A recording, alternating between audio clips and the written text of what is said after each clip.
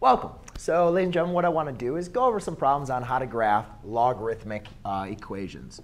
So, or we could do logarithmic functions. But the main important thing that I want to make sure that we cover um, with logarithms is, uh, you know, when we're applying our transformations, a lot of times we remember all logarithms, any type of function, even though I'm talking about it, even though I have an equation right up there, but any type of function, we can always go back and use a table.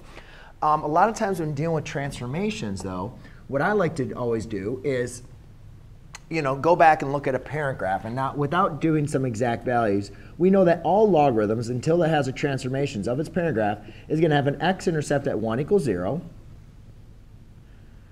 right? It's going to have an asymptote um, at x equals 0.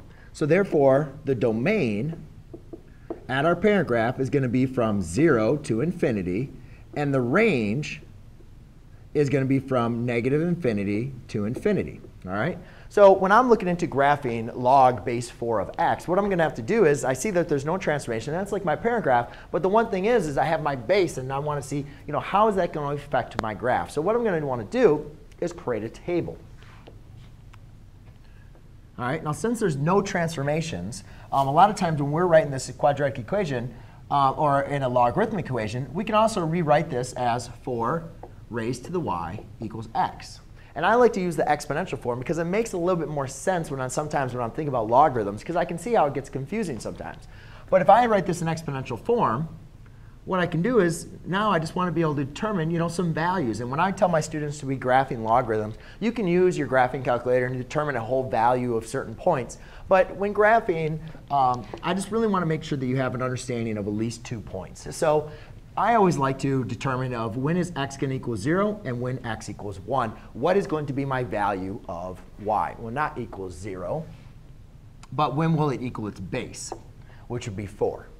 So I look at this and I say, all right, well, if x equals 4, 4 raised to what power of y is going to equal 4? Well, therefore, y is going to equal 1. And then if x equals 1, 4 raised to what power is going to make x equal 1?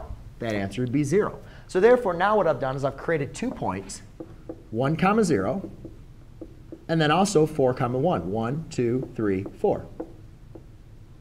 All right? So that's 4 comma 1.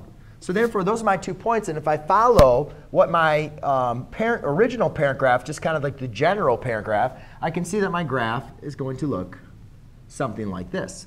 Now, I have not changed the asymptote or shifted anything. Really, what the base has done is kind of depend on how sharp my graph is going to increase or decrease. So therefore, my asymptote is still going to be at x equals 0.